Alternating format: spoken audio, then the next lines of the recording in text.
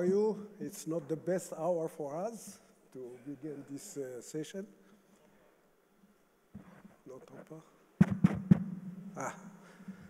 I told you that it's not the best hour for us, but uh, we will try to make you interested in this uh, issue. I will make uh, some uh, remarks at, uh, to introduce this session, but uh, I, uh, after that I will uh, leave this, the floor to the high, really talented people we have in this uh, session. I will use uh, French if you can uh, change your.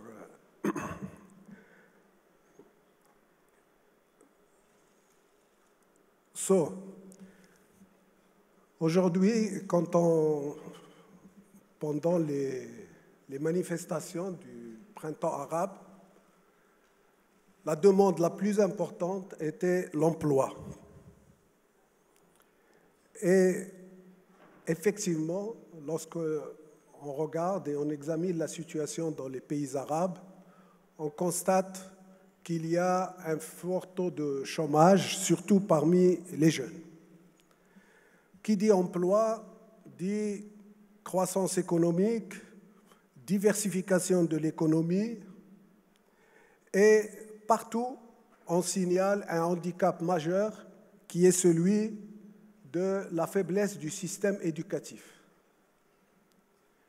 En même temps, pendant ces deux jours, nous avons parlé de lutte contre le radicalisme, contre le terrorisme, et là aussi, on retrouve la, mise en cause du système éducatif.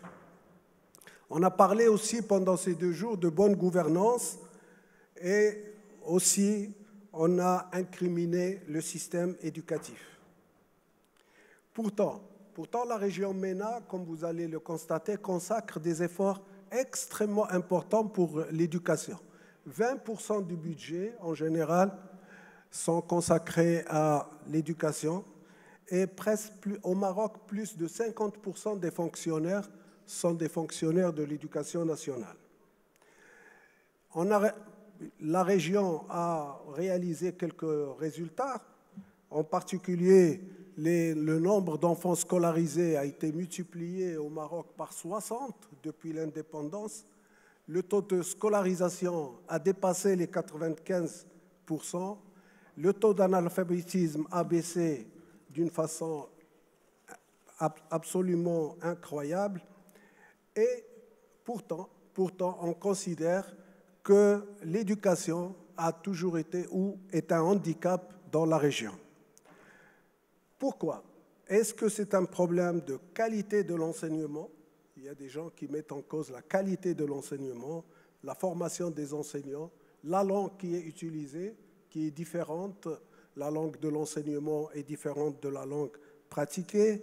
J'en mets en cause aussi la pédagogie. Euh, Mouna a parlé des problèmes de pédagogie, comment on développe plus la mémorisation, du savoir plutôt que les autres talents de créativité ou d'esprit critique. Et il y a aussi la notion d'idéalisation du passé et de refus de la modernité dans le système de l'enseignement. Donc il y a cette question de qualité de l'enseignement qui est posée au centre de la problématique. Le deuxième aspect aussi, la gouvernance.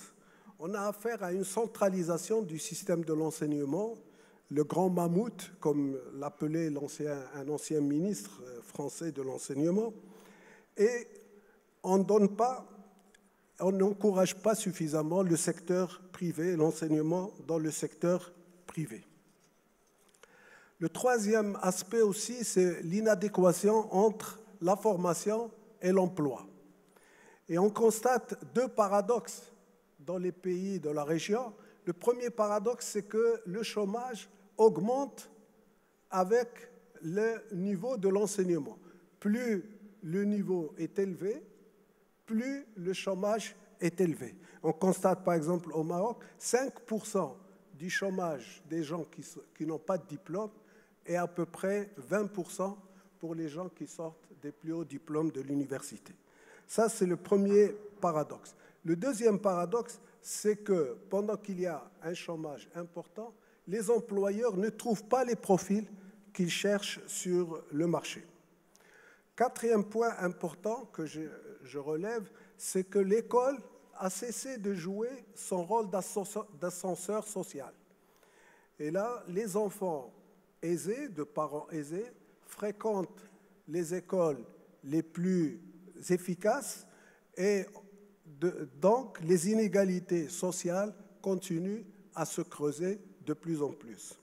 Et comme vous le voyez, d'un côté, un chômage important, une inégalité sociale, tout cela fait, ce sont les ingrédients d'une véritable, véritable frustration et d'un sentiment d'injustice que les Algériens, nos amis algériens, appellent la hogra.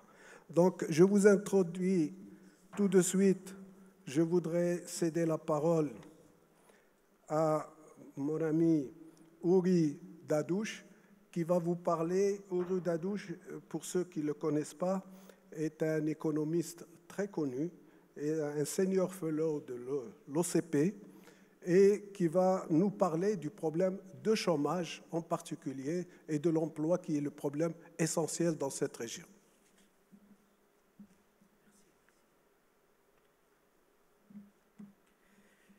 All right, thank you very much. I speak in English. I have a, I use my computer all the time, so it's easier for me to stand up. Um, the, um, uh, so, uh, the really big worry is uh, jobs, and uh, uh, according to uh, statistics, the MENA region has an unemployment rate close to 12 percent. Uh, which is the highest in the world, according to the ILO. And uh, the unemployment rate of young people is close to 30%, uh, which is two to three times higher uh, than it is in the other developing regions. So that's why I'm concentrating on jobs. Diversification and education are, of course, important, but in the final analysis, they're instruments of the growth process. And jobs as the chairman just told us, equal growth. Very difficult to separate the two. Um, so I, am going to make a prediction, and uh, which is the heart of my message, which is that unfortunately, I don't see a change, big change in the unemployment uh, uh problems in the MENA region going forward. And uh, to make this prediction, I look at some of the key drivers. Uh, before I do that, a uh, couple of caveats. One is there's huge uh, problems in measuring unemployment and employment in Morocco, in uh, the MENA region, as there is in other, uh, all other developing countries. And that's essentially because the line between employment and unemployment is very blurred when you have large numbers of people in agriculture, large numbers of people in the informal sector, a participation of women, which is uh, uh, just around 20% of the working age, uh, of the female working age population. Uh, so uh, it's, it's very difficult to distinguish between actual unemployment and uh, the fact that some people who really would like to work or get a better, a more formal job um, cannot do so. Uh, the second caveat, of course, is that the MENA region is a very diverse one. So you are in a place where uh, uh something like, uh, I don't know, 80% of the workers are actually imported, okay? So by definition, you have no cyclical unemployment in Qatar, in the Gulf uh, countries, on the one hand, which are some of the richest in the world. And on the other hand, you have countries like Egypt, Morocco, and Tunisia, which uh, uh, can only balance their labor market by uh, exporting something like 10 to 15 percent of their uh, uh, of the labor force is outside the country. So with those caveats, uh, let me just list five uh, stylized facts about jobs in the MENA region. Uh, the first is, which has already been mentioned, I won't elaborate, is we have uh, had big investment in education, but the children are not learning, and uh, the achievement on standardized tests of the kids in the region are very low uh, relative to per capita incomes. And the kids in the Gulf countries score hugely below countries in the same uh, income brackets, an extreme case. Um, and uh, there's a large amount of tertiary educated unemployed, which again is a, is a very particular feature of the region. The second stylized fact is we've had an absence of diversification uh, of these economies. Masood is going to talk about that, so I'm not going to elaborate. Next speaker, Masood Ahmed. The third stylized fact is that two thirds of MENA's workers are employed in the informal sector. And in the formal sector, the one third, over half of the jobs are government jobs. Okay? So you have a classic dual labor market situation uh, where in the formal part of the market, uh, workers are protected, earn high wages, etc., but it's very difficult to get in. And of course, that is a cause of frustration as well as a cause of unemployment. The fourth stylized fact is that despite all these handicaps, the MENA region actually grew quite handsomely prior to uh, the Arab Spring. So from 2000 to 2012, uh, the MENA region achieved a growth rate of 5.3%, which is actually a very high growth rate. It's not Asian growth rate. Um, since then, we have halved that growth rate, uh, also with the fall in oil prices. During the period prior to the Arab Spring, paradoxically, we had a big increase in employment. Employment expanded at a pace well in excess of 3% a year, which is gigantic. And even in recent years, 2013, 2015, employment grew at a rate of 2, 2.5% a year, okay? But quite a bit of the recent employment was in uh, government sector, which uh, traditionally accounts for over half of uh, uh, the formal jobs. And a lot of the employment that was created is in relatively low value added service activities. The fifth stylized fact, and this is my last fact before I, I project, so to speak, is that um, uh, we have another exceptional fact about this region very fast growth of the population historically, and um, uh, very fast growth of the young population. Um, this is a young region. Uh, the 15 to 24 cohort in MENA, this is when people enter the labor market, has grown at around 2.4% a year over the last 30 years. Uh, these are very high growth rates, and they help explain um, the unemployment problem among the youth.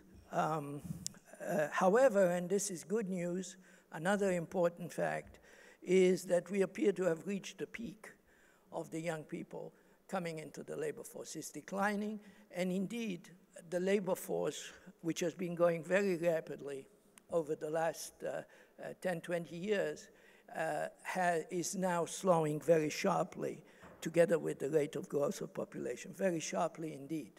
So right there, you can begin to see one day the solution to the uh, unemployment problem in MENA one day.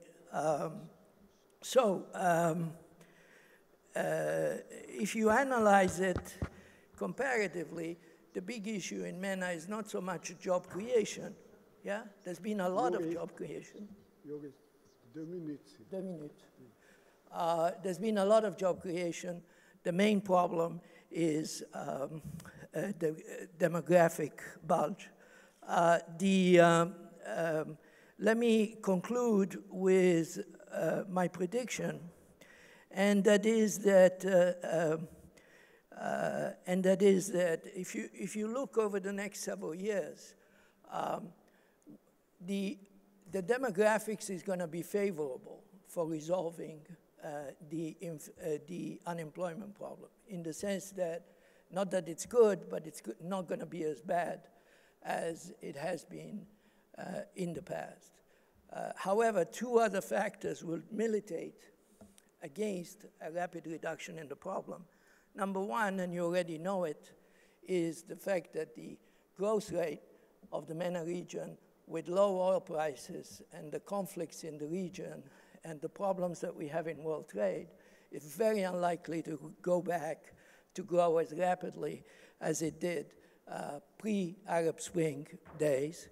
And the second factor is that, as I said from the beginning, there is a very large reservoir of workers that want to enter into the formal market or want actually any kind of job. Uh, and these are the underemployed women of the region, the people in subsistence or low value added agriculture, and the people that are in the informal sector, in the informal urban sector, will be lining up uh, to get these jobs. And uh, eliminating, so to speak, that reservoir of unused labor is going to take a long time, maybe 10 years or longer. Thank you. Merci. Merci. Thank you. Thank you. I, I would like to give the floor to Ahmed Masood,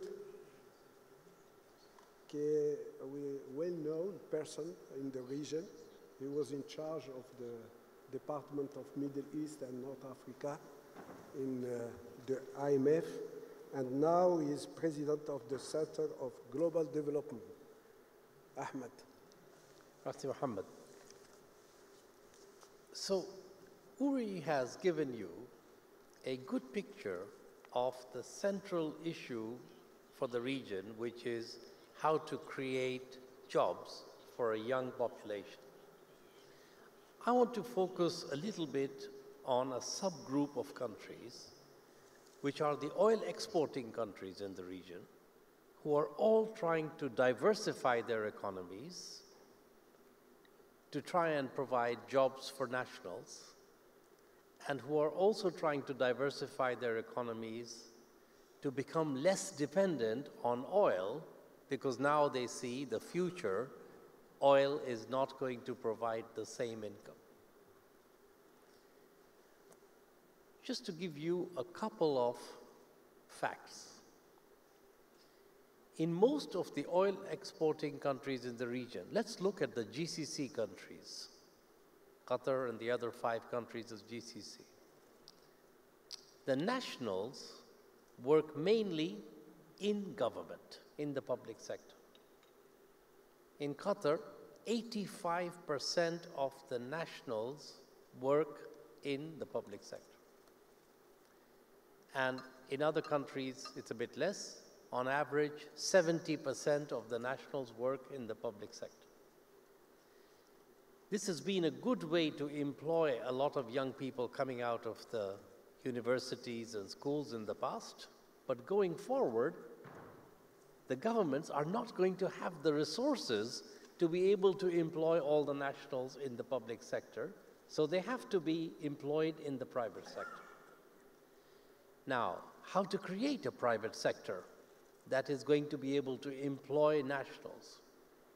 First, look at all the countries now have plans and visions of creating a non-oil economy. There is a Qatar Vision 2030, there is a Saudi development plan, there are plans in every other country. And they cover the same sorts of areas, more or less. They want to develop logistics, services, manufacturing, tourism, So you look at the areas, it's more or less, in some more and some less, but the same kinds of things. The challenge is, how do we make sure that these plans turn into reality so that in 10 years' time or in 15 years' time, actually the economies are more diversified and the jobs can actually be created for nationals in the private sector. History from looking at countries around the world that have come from a commodity dependent base is that diversifying away from commodities is not easy. Malaysia has a good success story in some ways. There are one or two other success stories, but it's a hard process. Why is it so hard? I think for two reasons. One is that it's hard to actually create the strategic sectors, the clusters of industries. Relatedly, it's also sometimes hard to create in the enterprise sector the mindset to switch from being mainly producers of non-tradables which they sell to the government because today a lot of the private sector is actually selling goods and services to the government to becoming really competitive internationally uh, comparable uh, producers who can stand on their own two feet and add value to the economy rather than simply be providers of services in a somewhat protected market. And the second big reason, which is why I'm so happy that this session is called diversification and employment. Because the second big reason, sorry, diversification, employment, and education, and because the second big reason is that to enable the nationals to work in the private sector, you have to focus on the incentives they have and the skills that they have. Now, incentives first. Today, the conditions of work in the public sector in many oil exporting countries are actually better than what people might find in the private sector.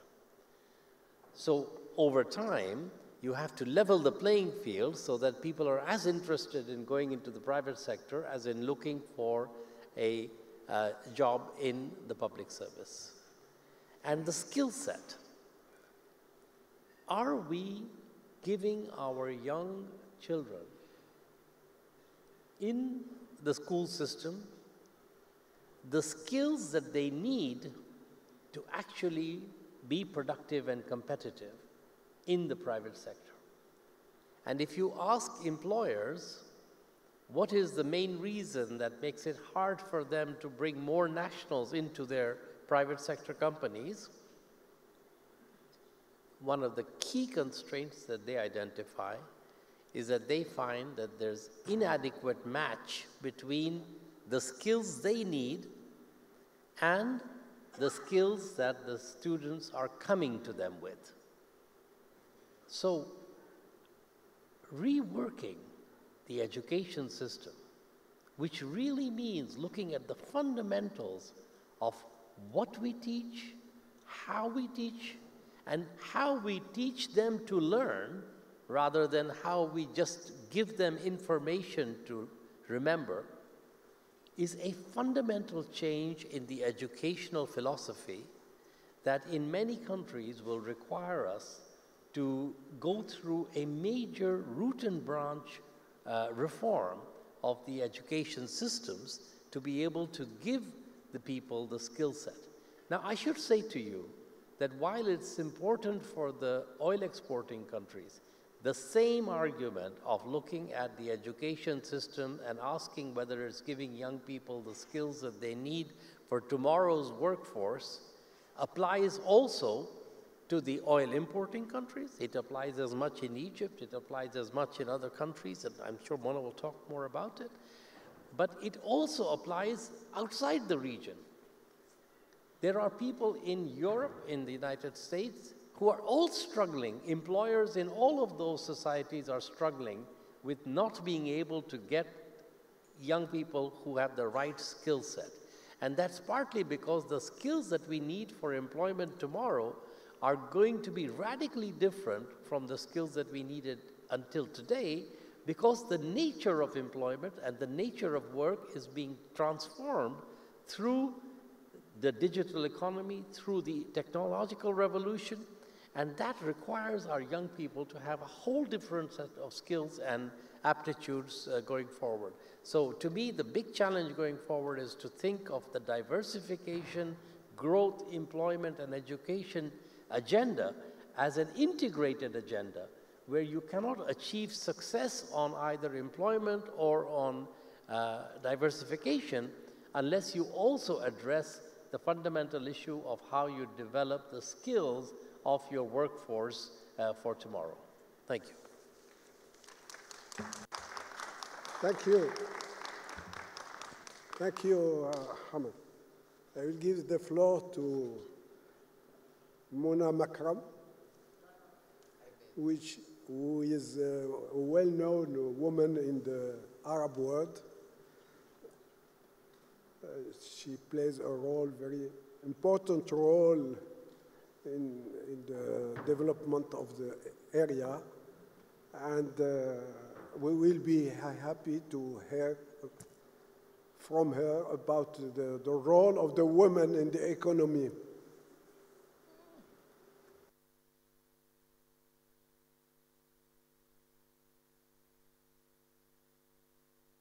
Once again, I hope you're not tired of hearing me.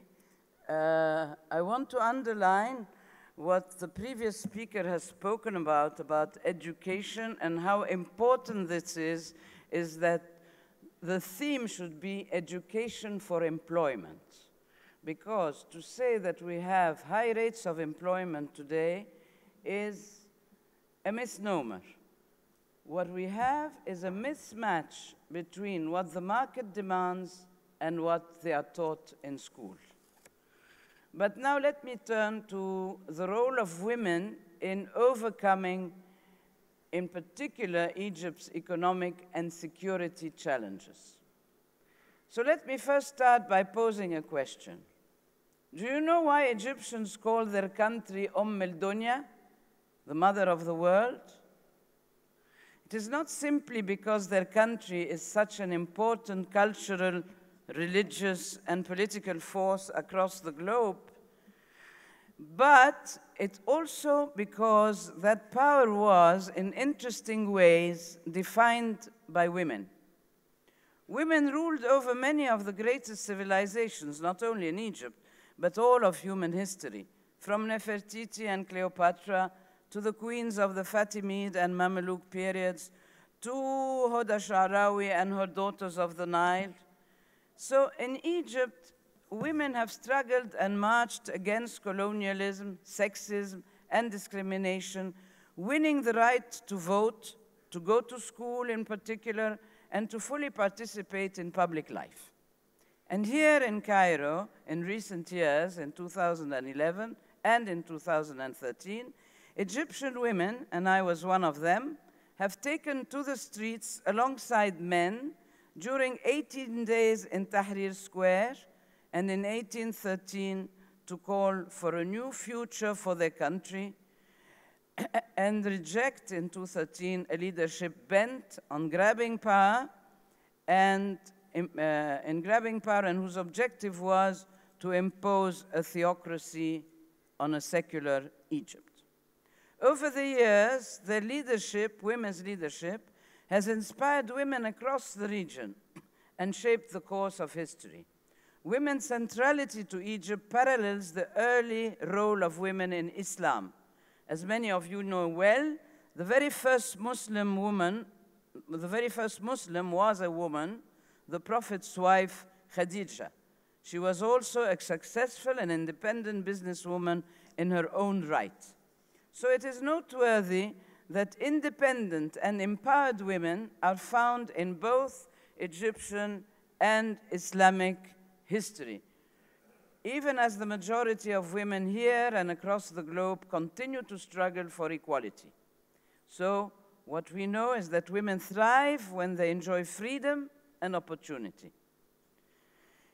Unfortunately, today, this is a difficult time for all the Arab people.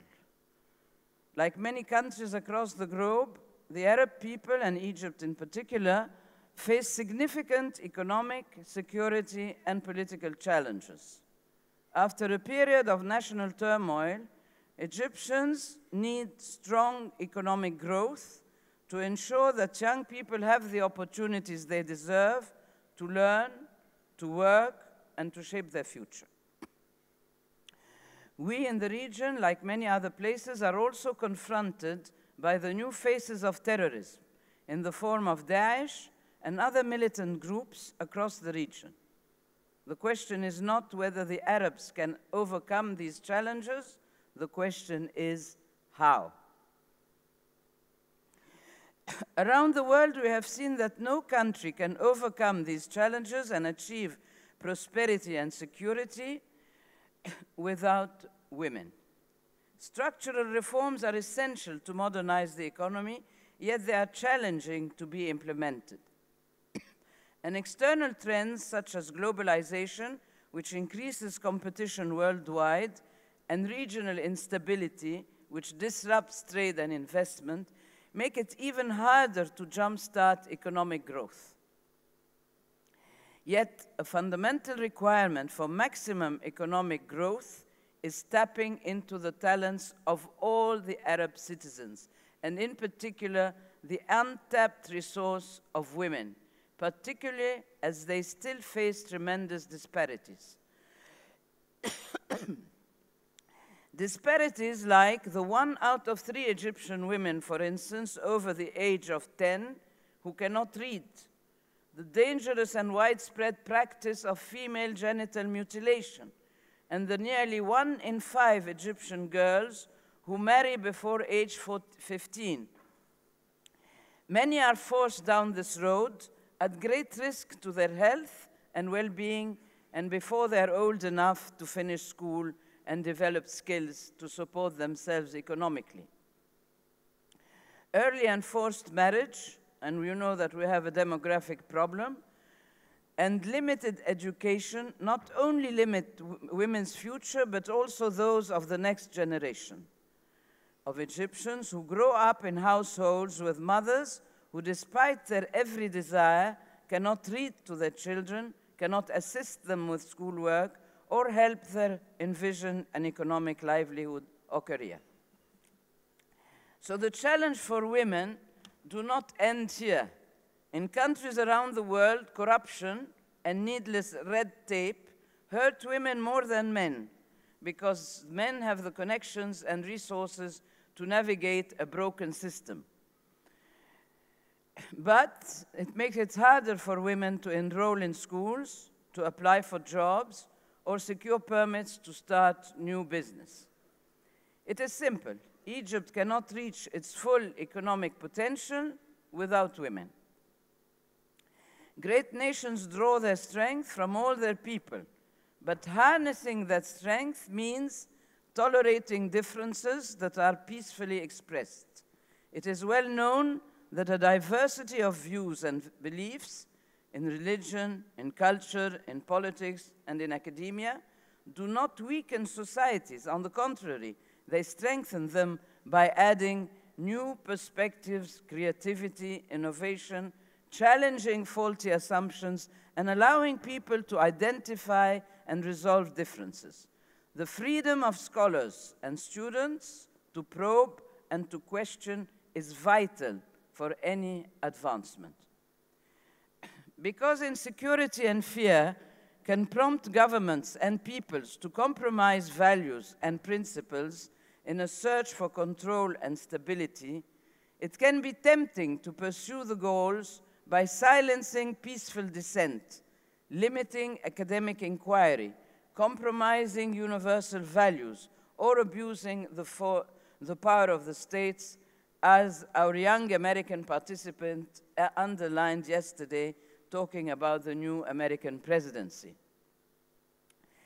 But the, um, but the experience of many countries around the world underscore the costs of compromising fundamental rights and freedoms. In reality, extremist views are best discredited through open debate, where citizens and religious leaders can challenge them head on. When debate is shut in the name of security, it feeds extremist propaganda. And the exclusive or heavy handed reliance on security solutions is unlikely to address and may well exacerbate key underlying factors that increase vulnerability to terrorist propaganda. Let me end up by quoting Hubert Védrine, whom I think is here, who called this era an era of electoral insurrections, and he cautions elites from all countries to listen to the social distress and understand people's attachment to security, identity, and sovereignty. Otherwise, insurrections will continue. These are the lessons of history that all nations must bear in mind. Thank you for your attention.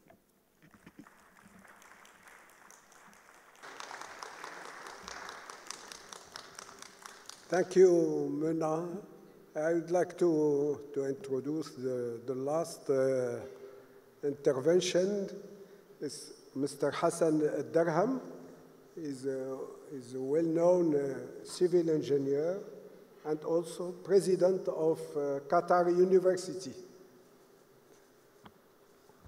Uh, thank you very much. Uh, uh, I will speak in Arabic, so if you would like to use the translation tool, it will be better, بداية uh, أنا سوف أطرح بعض الأسئلة أو أتحدى بعض الفرضيات التي ذكرها زملائي قبل قليل في مداخلاتهم. طبعا آه، الأستاذ آه، أحمد بسعود ذكر آه، أن قطر يعني على سبيل المثال آه، في غالب آه، مواطنيها يعتمدون على آه، الدولة العمل في القطاع الحكومي بنسبة 85% وهذا صحيح ولكن أيضا دعونا نرجع للماضي قليلا. يعني قبل جيلين من الآن كانت قطر وال- والدول المحيطة أيضا في دول الخليج قبل اكتشاف النفط آه، كانت دول حقيقة آه، في أو كانت الشعوب في هذه المنطقة تعتمد بصفة رئيسية على جهودها الذاتية سواء عن طريق صيد الأسماك أو عن طريق آه، اللؤلؤ أو استخراج اللؤلؤ وبيعه ومجال التجارة. المختلفة. وكانت منطقة الخليج معروفة كمنطقة ترانزيت لنقل التجاري بين آه، شرق آسيا والهند وبين آه، دول آه، أوروبا وغيرها سواء عن طريق الموانئ مثل البصرة وغيرها من الطرق البحرية. فكانت الحقيقة آه، بالأصالة الشعوب كانت تعتبر من رواد الأعمال في ذاك الوقت. لكن مع استخراج النفط واكتشاف النفط واستخراجه اتجه الناس للجانب الأسهل وال وال والأفضل لهم والأريح اللي هو الاعتماد على الدولة في مختلف مع بداية آه، استقلال هذه الدول وبناء أجهزة الحكومة. فبدأت آه، الناس تتجه إلى العمل الحكومي كقطاع آه، سهل ويسير وميسر. وقل حقيقة اعتماد واهتمام الناس وخريجين الجامعات على أن يكونوا مبادري أعمال. ف- فهنا محتاجين في خططنا الوطنية إلى استراتيجيات لخلق توازن بين الأمرين. آه، عموما آه، طبعا آه، إحنا رأينا خلال الأسابيع والأشهر الماضية التحديات والتغيرات العالمية التي وجدناها. فعلى سبيل المثال مع آه، مفاجأة التغير اللي حصل في وصول آه، السيد دونالد ترامب لرئاسة آه، الولايات المتحدة الأمريكية. هذا سوف يفرض تحديات وتغييرات حقيقية آه، إذا ما إذا ما سار على برنامجه الانتخابي في الجوانب الاقتصادية وفي السياسات الاقتصادية والاستراتي- والتجارية. وهذا سوف يفرض على آه، دول عديدة آه، أن تراجع حساباتها في هذا الجانب وكذلك على قطاع التعليم العالي في هذه الدول أن تراجع سياساتها في مخرجات هذه آه، المؤسسات التعليم العالي.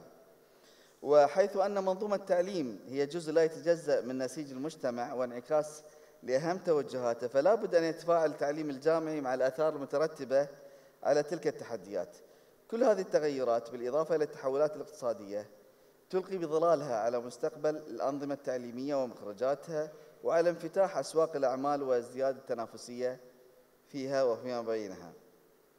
هذه التحولات سوف آه، تضع آه، الضوء آه، وتسلط الضوء على الدور المتوقع على أنظمة التعليم العالي والتي تتأثر على الأقل بطريقتين. أولا هذه آه، آه، مؤسسات التعليم العالي هي جامعات وهي معقل للقيادات الفكرية التي تحلل وتستشرف آه، أبرز التوجهات المستقبلية وتسهم في إيجاد الحلول والاستراتيجيات للتحديات التي تواجه أي مجتمع تقوم فيه. وبالذات إذا كانت هذه الجامعات جامعات وطنية مثل دور جامعة مثل جامعة قطر. فالمسؤولية عليها أكبر آه، في هذا الجانب. ومن جهة أخرى فإن هذه الجامعات أيضا تحتاج أن توائم آه، مخرجاتها مع احتياجات سوق العمل المتغيرة وحاجتها المستقبلية.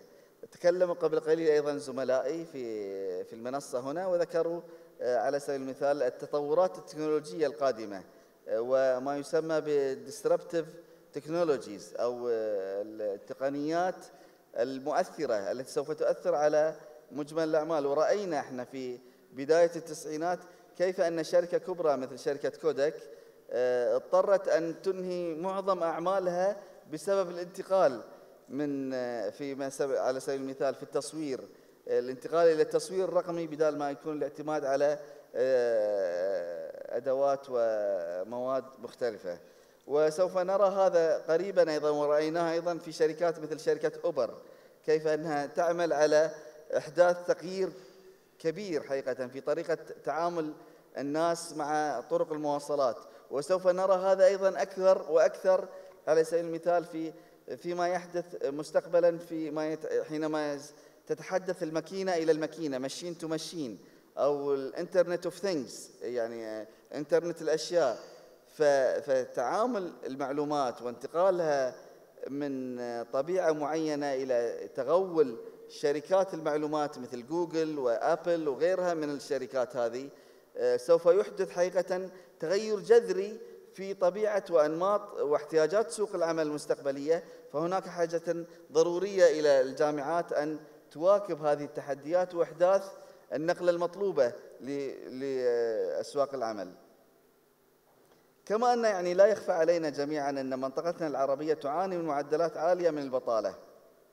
وأن النمو الاقتصادي والتطور العلمي والتكنولوجي فيها مهدد بالأوضاع الأمنية والاقتصادية الغير مستقرة.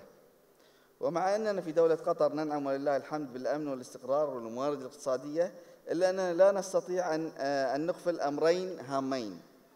أول هذه آه، الأمور هنا في قطر لابد أن لا نغفل أن العالم متصل بشكل كبير وأننا لا نعيش بمعزل عما يدور في إقليمنا. فأسواق العمل تتصل ببعضها ال- البعض وتتأثر بالتوجهات العالمية سواء من حيث أسعار النفط أو انفتاح الأسواق أو غيرها من التبعات. وثانيها يجب علينا أن لا نغفل أيضا آه، عن حدود الموارد الهيدروكربونية الغير متجددة وعن ضرورة عدم الاعتماد عليها كمورد واحد مهما كان وفيرا.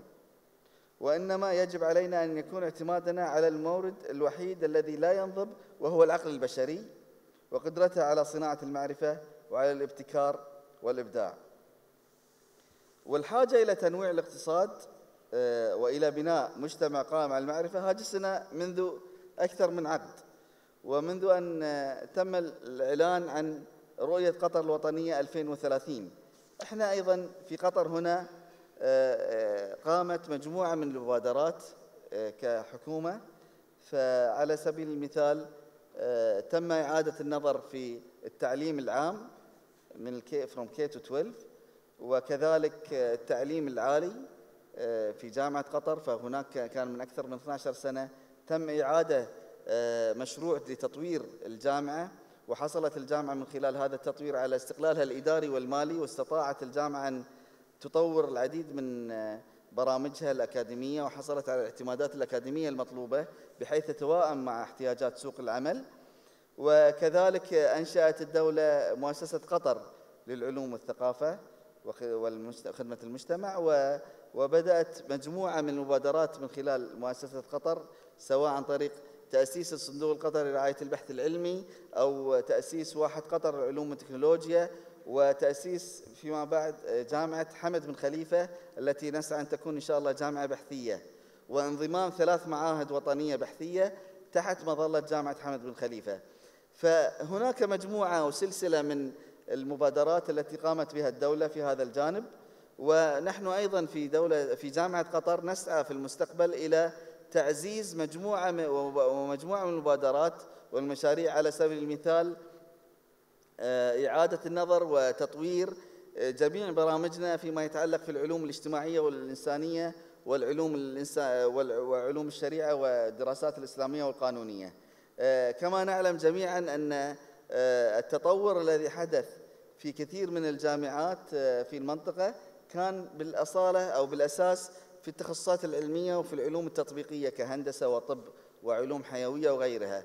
ولكن للأسف ما زلنا متخلفين عن الجامعات العالمية فيما يخص العلوم الاجتماعية والإنسانية. وهذا انعكس ورأينا كيف أن للأسف شعوبنا العربية ما تعاملت مع هبة الربيع العربي بالتعامل المطلوب وذلك لأسباب منها عدم حقيقة وجود مفكرين وعدم وجود قادة تنويريين في علوم الاجتماع وفي العلوم الإنسانية المختلفة للتعامل مع هذه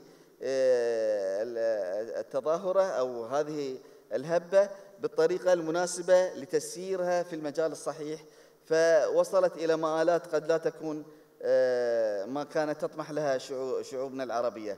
فلذلك آه، هذا الأمر لا يقتصر على جامعة قطر فقط أو حتى جا- جامعة آه، جامعات الدول آه، مجلس التعاون ولكن حقيقة في معظم دول المشرق العربي. للأسف خريج تخصصات ال- ال- العلوم الاجتماعية في الغرب يجد له آه، دور ودور فعال في المجتمع آه، ولا نجد هذا الشيء موجود عندنا في عالمنا العربي بالذات فلذلك هذا من ضمن الأشياء التي سوف نسعى إلى إلى إلى توفيرها في في القريب العاجل.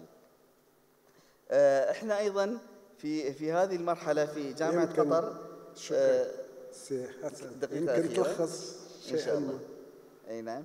آه، في مراجعتنا لخططنا الاستراتيجية في مجالات البحوث والتعليم آه، قامت الجامعة بتحديد أهم المهارات والكفاءات أو الكفاءات التي تحتاج إلى التركيز وإلى إعادة رسم الخطة التعليمية لضمان تحقيق هذه الأهداف.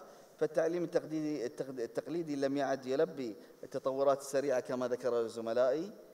سابقا في القطاعات المختلفة وأصبح التركيز على الكفاءات الأساسية ضرورة ملحة وهي التفكير الناقد الكفاءة اللغوية الكفاءة الحسابية الاتصال الفعال التعاون والمشاركة الاستفسار والبحوث وحل المشاكل. فسوف نسعى إن شاء الله خلال يعني خططنا المستقبلية إلى نضمن أن مخرجات الجامعة آه، عندهم هذه الكفاءات ولعل إن شاء الله إذا في مجال خلال المحادثات فيما بعد أو النقاشات إن إن شاء الله نتوسع في هذا الجانب. شكرا. ثانك يو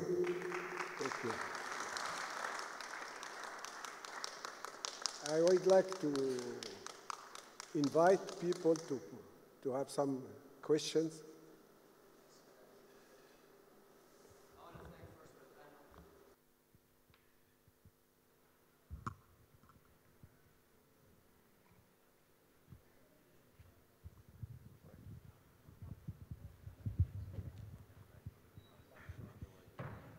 Il est évident que le problème de la main-d'œuvre et de l'emploi est lié à la formation, l'éducation, mais aussi est lié au secteur de production et à la croissance.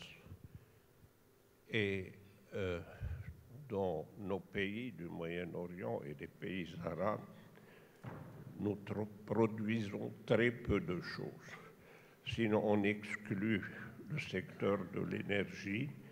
Notre balance commerciale est largement déficitaire au profit des pays industrialisés. Or, nous avons le financement, nous avons la main-d'œuvre, il nous manque la technologie. En associant l'importation de la technologie plutôt que des biens avec la main-d'œuvre dont nous disposons et le financement qui, est, et qui ne pose pas problème, nous pouvons contribuer à l'emploi, à la création de l'emploi. Mais il y a aussi un autre facteur, c'est la coopération entre les secteurs de production et l'université. Nous ne pouvons pas continuer à former des universitaires dans différents secteurs qui vont au chômage ou à l'exportation. Donc, il doit y avoir une orientation en fonction des besoins au niveau de la production et cela nécessite une coopération entre les secteurs de production et les universités. Merci. I will take another question.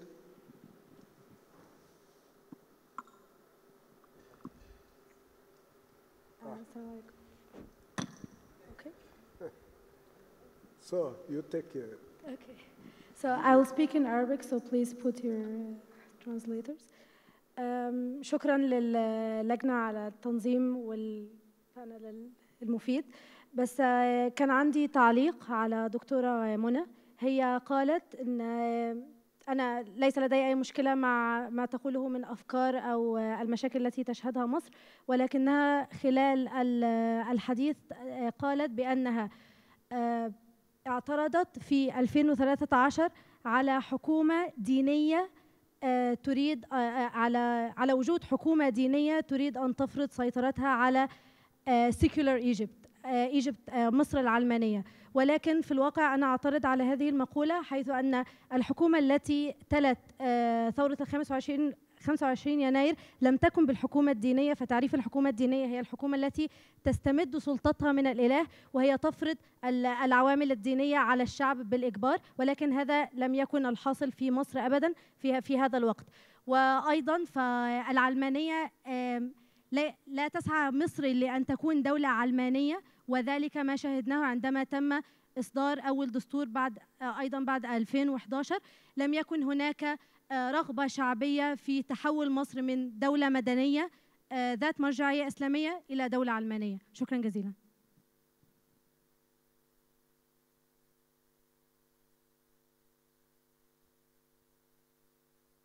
Thank you.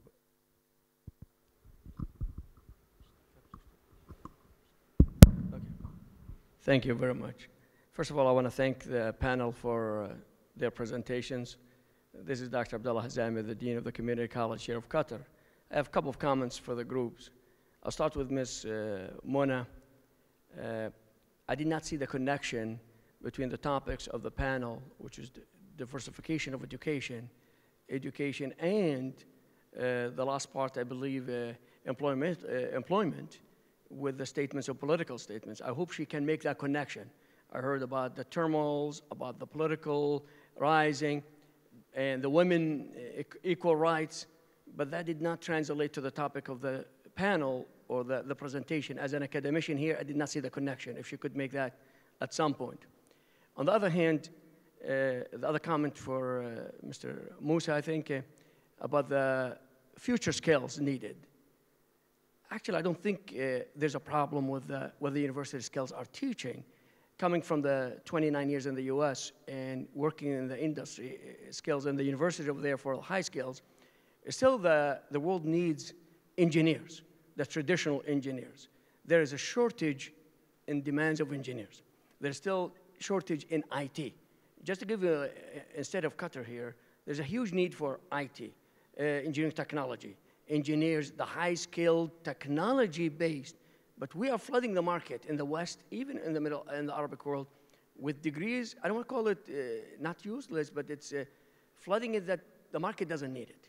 Uh, we have too many business degrees in the U.S. and here. It's maybe they think it's the easier route or the quickest route to be rich, but we still lack in uh, programmers, for example. The world is desperate for programmers, for ITs. So these are still the old basic skills that needed over the years, and we still need them. So I'm not sure when you guys talk about future skills, what are those future skills? I hear these buzzwords when I go to conference in the US. I come back here, but still I read the reports coming from all the industries, still needs the old traditional engineers and ITs. Thank you.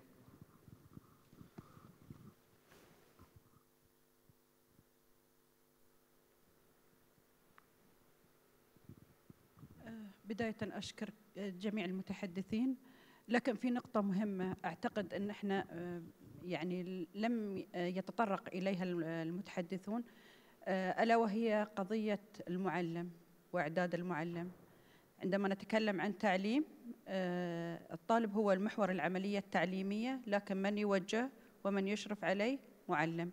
إذا لم تكن عملية الإعداد بصورة صحيحة لهذا المعلم فلن يتمكن من تمكين الطالب من مهارات التعلم ولم يضعه على الطريق الصحيح والمسار الصحيح لعملية التعلم. أيضا التكنولوجيا وتوظيفها داخل المدرسة سوف يكون وبالا على وخسارة وهدر لأموال الدولة إذا لم يكن هذا المعلم متمكن من توظيف هذه الوسائل التكنولوجيا. الطفل الآن أصبح يستطيع طفل عمره سنتين آه، بإمكانه أن يفتح الأجهزة الإلكترونية المحمولة الآيباد وغيره ويلعب في الألعاب ويستخدمها ويوظفها. المعلم لابد أنه يكون عارف آه، كيفية توظيف هذه الأساليب. كيف يمكن أن أستخدمها في خدمة العملية التعليمية؟ كيف يمكنني أن آه، أوجه الطالب لاستخدامها للتعلم مدى الحياة؟ كيف يمكنني أن أوظفها وأستخدمها كي يكون الطالب متمكنا من مهارات البحث والإستقصاء؟ والإبداع والابتكار. الآن في طلبة الآن في طلبة عندنا في قطر في احد المشاريع يعني بإمكانهم استحداث تطبيقات جوالة. ليس فقط ذي تطبيق جوال كامل بكافة مكوناته طالب آه، الآن بإمكانه أن يعده. فالآن إحنا بحاجة إلى من يدير هذه العملية. إعداده. لابد أن تغير الكليات التربية التي تعد المعلمين. لابد أن يكون في تطوير لها تطوير لبرامجها تطوير لأساليبها طرق الإعداد فيها. هذه لابد أن يكون هو التوجه الصحيح لأن الأساس في عملية توجيه الطالب وإدارة العملية التعليمية هي المعلم. شكرا. حمدة حسن. Other question? Yes. If uh, do you have some comments? Please Ahmed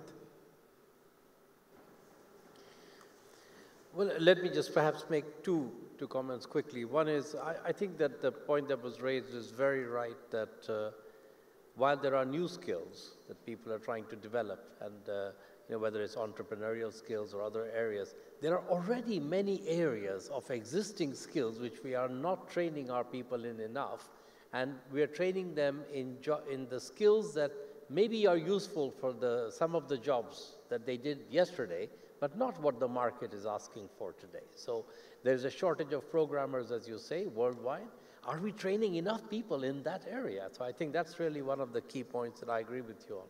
Uh, the second thing I would raise is that I think you raised a very important point that you cannot change the educational system without focusing on the teachers and giving them the equipment, the skills, the training, so that they can play the kind of role and they're confident in then giving their students the empowerment that we are trying to give them. So clearly, we have to invest a lot and much more in terms of the time and resources to bring our teachers themselves up to date and comfortable with the new skill set. So I, I agree with you uh, on that point as well.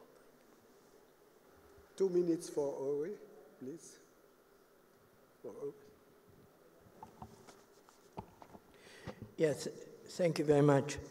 So much of the discussion is focused on education, so I'll make a point about education and, and also uh, try and bring us back a little bit to reality in terms of job creation. I think the education issue is a very important one, obviously, and one that is especially important in this region simply because of the large number of young people uh, that you have and the uh, unemployment uh, among young people. in the end, I think it's been said, you need a, a strong governance system for education. Uh, this is, I think, one of the big failures in Morocco, a country that I know a little bit about. Um, and uh, uh, I also believe, but this is my personal view, that there isn't enough guidance uh, for students. And by that I mean the creation of incentives. Uh, in the United States, where I live, it's kind of taken for granted that everybody's going to do, you know, study whatever they want to study, and, uh, and, you know, and then somehow things will shuffle around uh, so that everybody's going to be happy. But the reality is that kids have absolutely no idea what uh, the job market is going to be 15, 20 years from now. You can argue we don't know, but we have some, some kind of guidance. And so I'm all for uh, putting some incentives um, for kids, which there are, of course, various ways of doing that, uh, to give them some guidance in the direction that has been mentioned about the kinds of people that we need. And I, and I completely agree, there's so much focus on business education. The second point I want to make is to go back to the basis, uh, basics for jobs. Look, in the end, you can, but can I make my point? Yeah. Just one point. One. Yeah. Uh, in the end, the um, uh, in the end, the creation of uh, the creation of enough jobs is a combination of two fundamental factors. On the one hand, demographics, okay, the supply of young people, and that's slowly being corrected. 10 years from now, it's going to be a better picture in this, uh, in this It's a very special situation. But the other fundamental one, and absolutely critical, is economic growth. And if you don't have economic growth, you're simply not going to be able to generate good jobs and enough jobs. And that, of course, is a much more complex uh, uh, topic and uh, goes back, in particular, what strikes one in the region is the absence of a strong formal public, uh, private sector. What do you need to create a strong formal private sector? That's the big question, and that's the underlying question for job creation. Merci beaucoup. Mais la conclusion que je tire de cette euh, séance, c'est que les, la taille des problèmes est tellement importante que nous avions besoin réellement d'une nouvelle façon d'approcher ces problèmes, à la fois au niveau de l'éducation et au niveau de l'emploi dans ces pays. Et c'est l'originalité que nous pouvons apporter finalement dans notre euh, région. Merci beaucoup pour tous pour votre participation. Merci.